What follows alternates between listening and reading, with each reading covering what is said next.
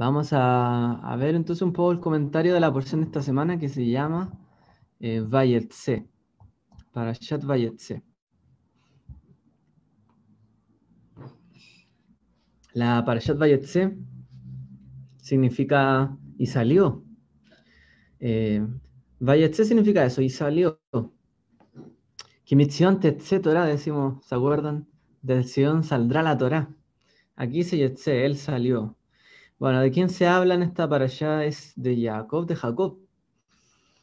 Em, en esta porción vemos, ¿cierto? Comienza hablando parte de su salida, un encuentro, ¿cierto? Que tiene con, con, una visión, ¿cierto? Con Dios, ángeles, subían, bajaban. ¿Tiene alguna, algún sentido, una explicación de todo ello? No, nos vamos a referir por lo menos a eso hoy día. Em, Después él sigue su camino, se encuentra, ¿cierto?, con unos familiares tratando de mover ahí, ¿cierto?, unas piedras, unas rocas, en un cercano también de un pozo, se da cuenta que es la familia, se reencuentra con ellos, ¿cierto? Recordemos que Jacob, Jacob venía peregrinando, a diferencia de Abraham, Abraham salió, ¿cierto? Porque el Eterno le dijo, sal de tu tierra. Jacob no le quedó otra alternativa sino que salir porque su hermano lo estaba persiguiendo su hermano quería matarlo. O sea, la, forma en la que salió él de su casa no, fue la mejor forma, ¿no? Eh, yo creo que ningún padre, ni aunque quiera que sus hijos se vayan en algún momento de su casa, que sean independientes, digo yo, eh, querría que otro hermano le dijera, bueno, ándate o te mato, prácticamente. Bueno, Jacob la verdad es que sufrió en este sentido, pero él encuentra una luz de esperanza cuando se encuentra con su familia, ¿no? La familia de su padre, eh, allí, ¿cierto? En Harán, con Labán, y también encuentra, ¿cierto? A la que sería el amor de su vida y sus dos esposas. También. Raquel, Rachel y Lea. Rachel, que era la menor, y Lea, que era la mayor.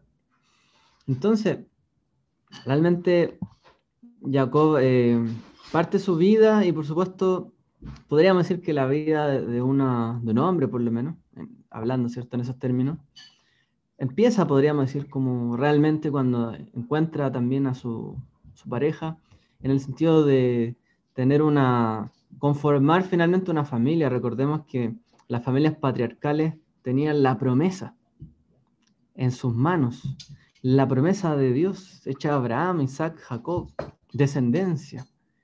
Por supuesto, en la, familia hay bendición, hay descendencia, hay prosperidad, y Dios quería también bendecir a, toda la nación, todos los descendientes también a través de ellos. Así que eh, es muy importante en la Biblia, por lo menos la descendencia. Por lo tanto, también la esposa, en el caso del varón, ¿cierto?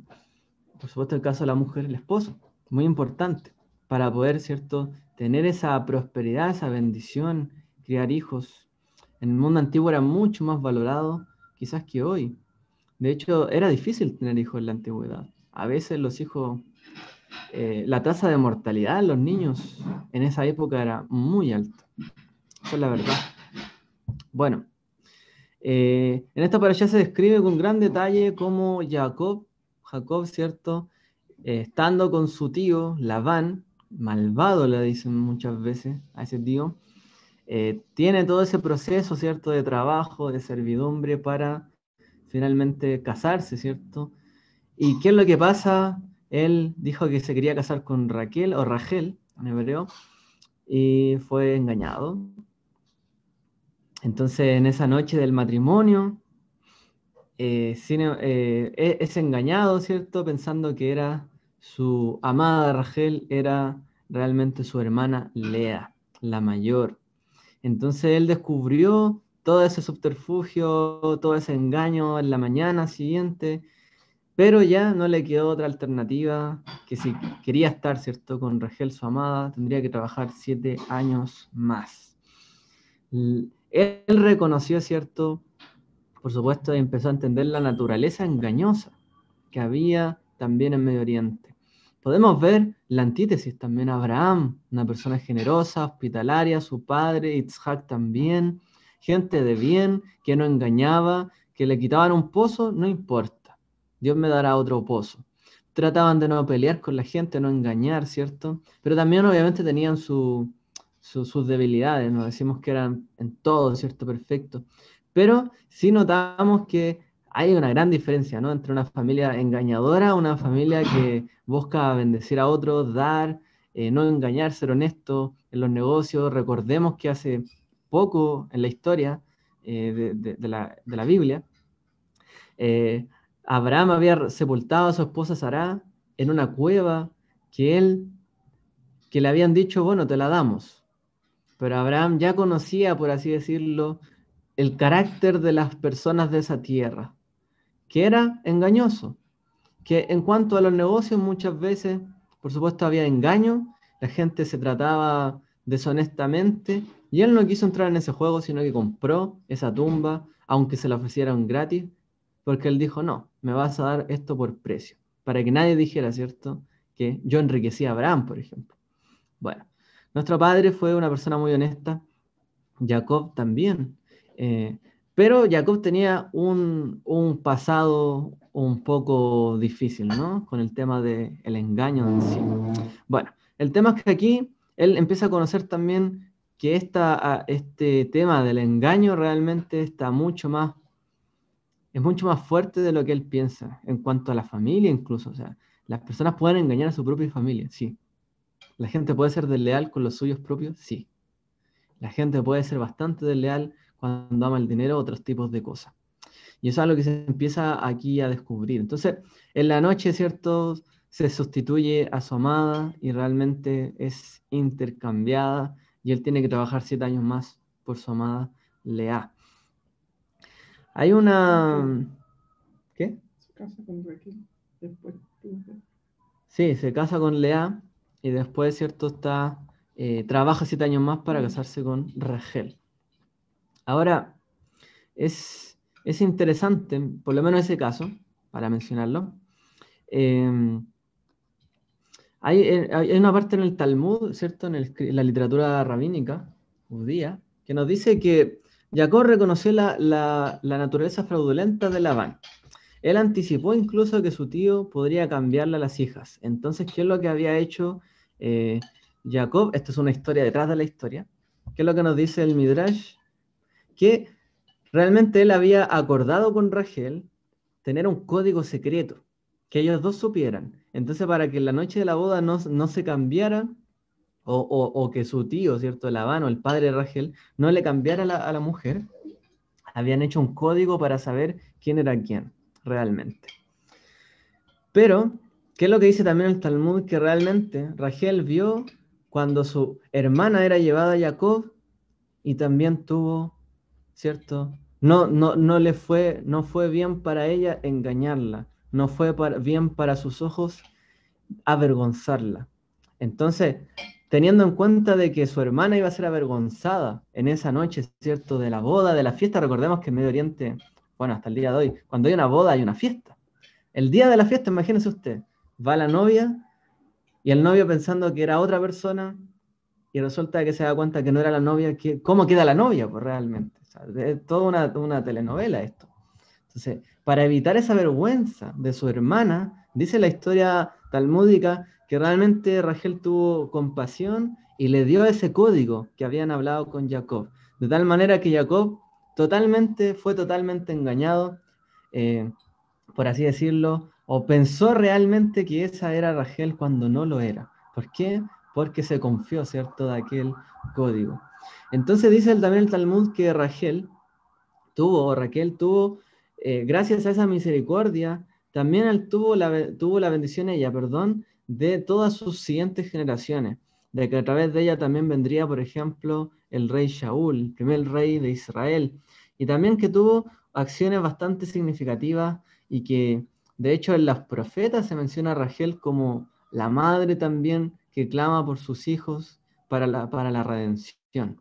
Que ella en el fondo aproximó la redención también permitiendo que en Israel hubiese muchos hijos, hubiese más una amplitud también de familia y que realmente todo eso trajera bendición. Así que Rachel, al contrario de su, de su, de su padre, por así decirlo, no buscaba engañar, pero tampoco ella quería, ¿cierto?, avergonzar a su hermana. Y vemos un carácter diferente entonces en Rachel. No la quiso engañar ni decepcionar, por lo tanto, hizo todo lo contrario. Y bueno, al final fue Jacob el que terminó, por así decirlo, engañado. Pero bueno, así como Raquel fue realmente, dio, dio el bien cierto, también a través de ella vino reinado para Israel. Ahora, hablemos un poco sobre este tema del engaño, que la verdad es bastante, bastante significativo para nuestros tiempos. A lo mejor en Shabbat no se habla de negocio en sí, pero ¿se podría justificar realmente las acciones de Labán de que él haya querido engañar, ¿cierto?, a, Jacob, no diciéndole que en realidad le iba a dar, ¿cierto?, a la mayor primero, antes de... Imagínese usted va a hacer un negocio y usted piensa, a lo mejor, ya, te, doy X cantidad de dinero y me das tal artículo. Ya, listo, hagámoslo. Y cuando ustedes hacen el trato, resulta que le, le pasan a usted el artículo que compró y era algo totalmente diferente. ¿Cómo quedaría usted realmente en ese momento? Bueno, yo creo que hoy día eh, en cierta medida todos los que han comprado por internet ¿no? han tenido alguna, han sufrido, ¿cierto? Algún, o que le han mandado otro artículo que no le llega. En el fondo son las condiciones las que se cambian. Entonces el negocio, finalmente estamos todos disconformes porque no era lo que esperábamos. Bueno, imagínense hasta el nivel, ¿no? De engañar a una, a una, a, quien, con, con quien uno se casa.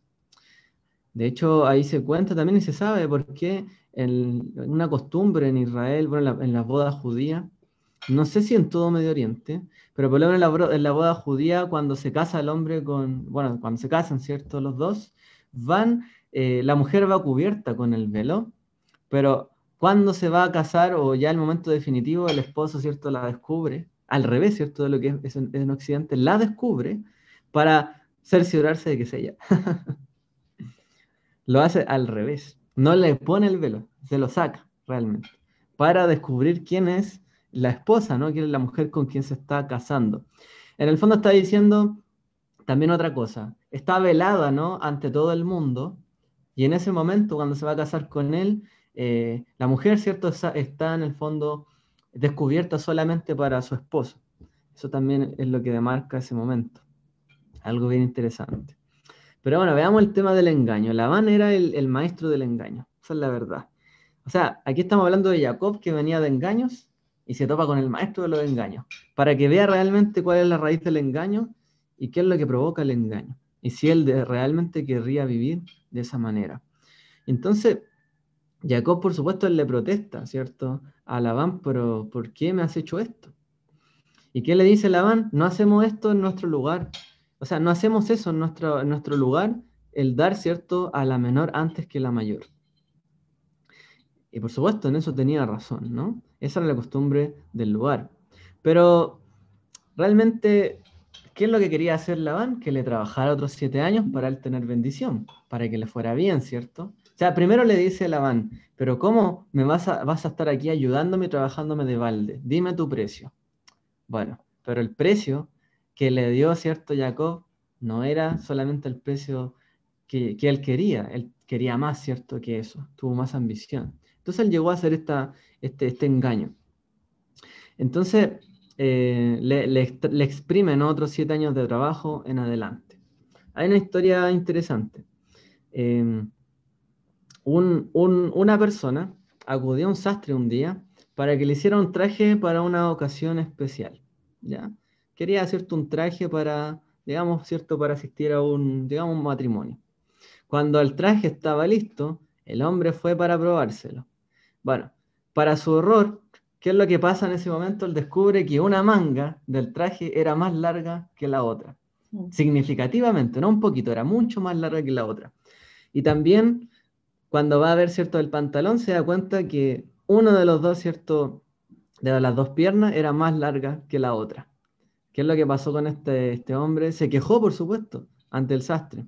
Pero, ¿qué es lo que pasaba? El evento era esa misma noche y necesitaba el traje, realmente.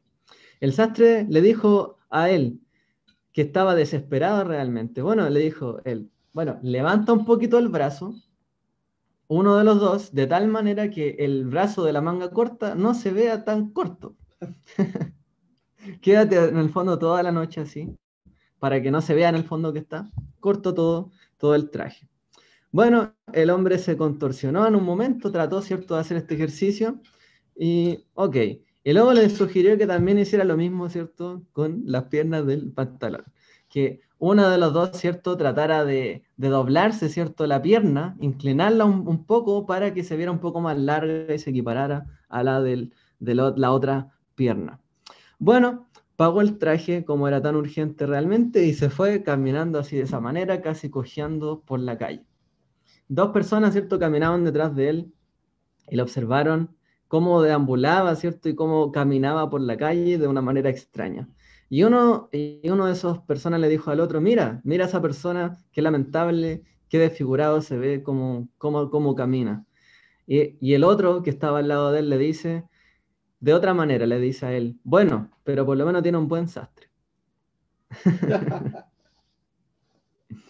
Realmente el sastre se le veía bien, no se veía disparejo, pero el que se veía mal era él. Era Jacob, o sea, Jacob en este caso. Pero aún así, cierto, tenía un buen sastre. Podríamos decir en este caso que no le tocó una mala mujer, por supuesto que no. Lea también era una mujer muy digna. Una mujer, cierto, muy apreciable entre los ojos de Dios, que le dio la mayor cantidad de hijos. Realmente, Dios también la bendijo, floreció también su relación. Y también, cierto, había, por así decirlo, un propósito detrás de eso. A lo mejor uno, uno le vio todo el aspecto negativo cuando vio a esta persona, pero el otro dijo, no, pero realmente tiene un buen sastre. Parece que el que estaba detrás sabe lo que hace. bueno, eh, cuando las personas realmente ocultan sus intenciones, eh, realmente es un gran problema. Hay un problema de cultura, hay un problema muchas veces que, no sé si usted lo ha visto, pero a veces, a ver, aquí en Chile se dice que verás cuando cómo se trata en Chile el amigo cuando es forastero, ¿no? Pero, o extranjero. ¿Forastero o extranjero? Forastero. Forastero. Entonces, pero ¿qué es lo que pasa? Que muchas veces a los extranjeros se les suele engañar. A veces llega una persona afuera y, se trata de engañar a las personas. A veces por, por, el dinero se les dice, no, esto vale más de lo que realmente cuesta. Y es difícil no tratar cuando uno ve gente extraña, extranjera, o hay una tentación, ¿no? De abusar también sobre el otro del engaño. Entonces, cuando hablamos de este tema del engaño, hablamos de la falta de confianza. Cuando no hay confianza en un lugar o entre dos personas, realmente todas las cosas empiezan a, degradarse, todas las relaciones empiezan a degradarse cuando no hay confianza. Cuando a lo mejor pueden haber diferencias de opinión, pero cuando ya hay engaños para que el uno prevalezca sobre el otro y cuando estas cosas son abiertas y descaradas, bueno, la relación no puede ir para mejor. Y uno va conociendo a las personas de esta manera. O sea, los sabios dicen en una, en una oportunidad, en el Talmud dice, eh, tú puedes conocer a las personas por tres cosas. Voy a mencionar dos solamente. Una por su copa, en el fondo, por cómo se comporta cuando toma. Y la otra por las maneras, ¿cierto?, en que hace sus negocios. Cómo uno realmente conoce la honestidad de la gente, cómo hace sus negocios cómo se comporta, ¿cierto? Si es honesto o no, si es confiable, si dice algo y lo cumple, cumple su palabra o no la cumple. Recordemos que en este tiempo no habían contratos como hoy día existen, o, información igual entre el uno y el otro, eh, que lo que hoy día mantiene la confianza de todos los mercados, ¿cierto? Que es la, libre información, la igualdad de información entre eh, oferentes y demandantes, pero en esa época no. Si no había confianza, la regla del juego las podían cambiar cuando quisieran. Es un poco lo que hemos visto hoy día, ¿no? ¿Por qué hay tanta desconfianza? Bueno, es que la regla del juego se cambian una y otra vez. Que se va a hacer una cosa, no, no se hace otra. No se hace otra. No es que esto va en contra de la regla del juego, es que ah, cambiémosla entonces, ¿no? Bueno, todo esto trae desconfianza. Hoy día, de hecho, hay una gran desconfianza eh, no solo hacia la política, sino también en lo social y también en lo económico. O sea, ¿se van a cambiar las reglas del juego? ¿Qué es lo que va a pasar en este mundo? ¿Qué es lo que va a pasar en Chile? No sabemos bien. Entonces, realmente todas estas cosas empiezan a, dañar la integridad nuestra. Y si no le ponemos nosotros un atajo, si no somos realmente honestos, si no somos personas confiables, toda la sociedad se termina afectando. ¿Qué es lo que pasaría, cierto, con la familia de Jacob? Toda, a lo mejor toda esa relación que tenían, que él se había encontrado con la familia, terminó siendo una, un martirio para él, terminó siendo toda una carga, lo que pudo haber sido una bendición.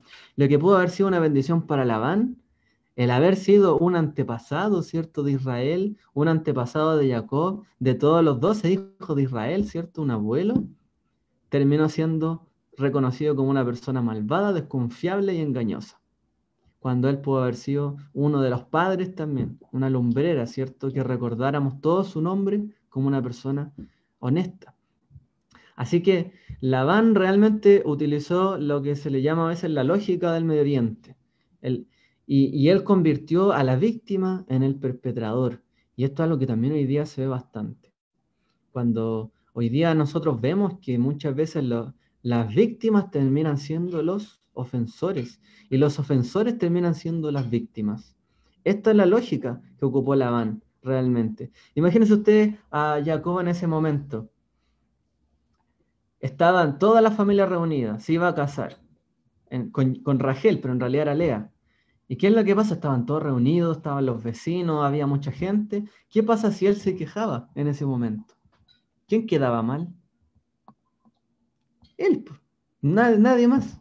Todos lo hubiesen señalado a él, pero ¿cómo le haces esto a, a, ella, a Lea? ¿Cómo haces esto a mi familia? Está todo reunido y tú no te quieres casar con ella. Entonces él tuvo que seguir también, ¿cierto? siendo engañado, ¿cierto? Aceptar todo esto. Pero ese, ese ánimo de, llamar al, victimario, ¿cierto? Víctima y a la víctima victimario es la lógica del engaño y de la mentira. Y que es cosas que también nosotros vemos el día de hoy.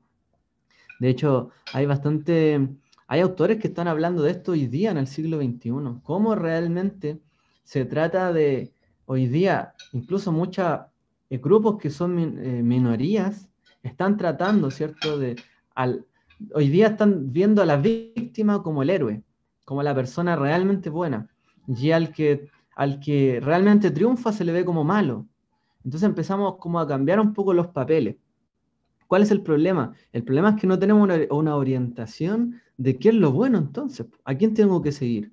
O sea, si yo no cumplo ciertas características de, como comillas, víctima, entonces yo no soy apto para hablar de algo o yo soy todo lo opuesto, soy todo lo malo, represento todo lo que es lo malo de la sociedad. Y, hoy día se está tratando, ¿cierto?, a través de una lógica engañosa realmente de...